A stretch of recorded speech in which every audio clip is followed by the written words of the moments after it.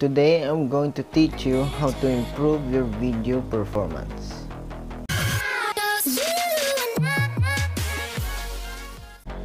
First, take a video or a shot.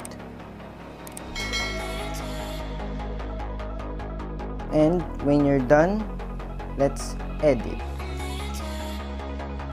So we are here and take your time to adjust something that is wrong or take your sharpness up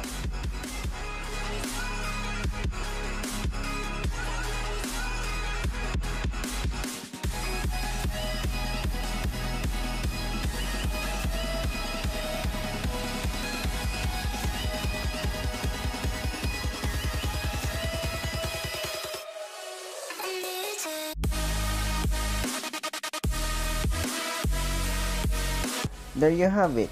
You have your perfect video and ready to produce to YouTube.